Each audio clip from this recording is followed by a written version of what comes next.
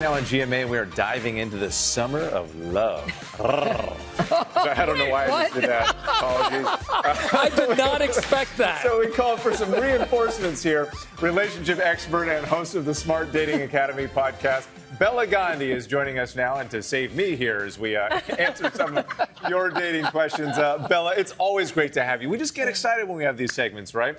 Um, so let's talk about dating apps because obviously a lot of people use those nowadays, but some people get dating app fatigue. So, what's your advice for people experiencing that? The fatigue is real. If you're exhausted, shut the dating apps off, take a dating detox. But if you're just a little tired, put boundaries around it 15 minutes in the morning, 15 minutes in the evening. That's all. And it's summer.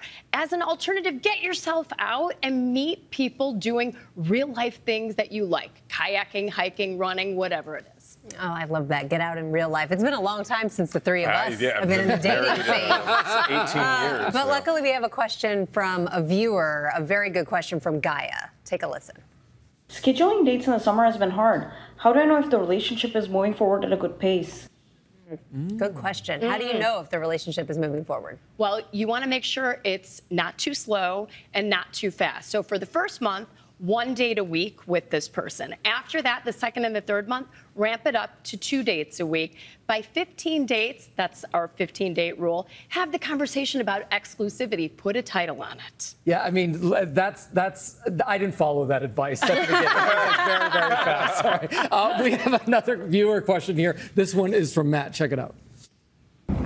I'm 56 years old and just getting back into the dating world.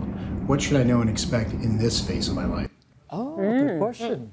Dating over 50 is an amazing time to date. There are millions of singles that are out there looking for love and companionship. So adopt the attitude, what I call psychotic optimism. Love is out there for me, and I just have to find it. But if you're just getting back into the dating world after a long time, get some help. There's tons of free information on the internet. Our podcast has over 150 episodes, tons of free stuff. A tip get a Google Voice number. It's a fake phone number that routes to your cell, so you don't have to give a bunch of dating strangers oh. your oh. phone number. So it keeps you safe, and you can call and text from it. Oh, can I do that with my family? I do too. Love you dearly.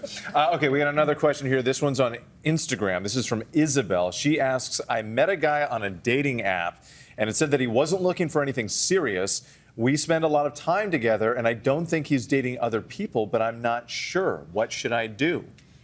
If he says he's not looking for something serious, believe him. Okay. Even if he's spending a lot of time with you, ask the question, get on the same page. 2024, the summer, use your voice. Ask things you want to know, get mm-hmm. on the mm-hmm. same page. Okay. And psychotic optimism. Psychotic I optimism. I like that. The second part's important, though. Second part of that. Uh, Bela, thank you so much. As always, we appreciate it.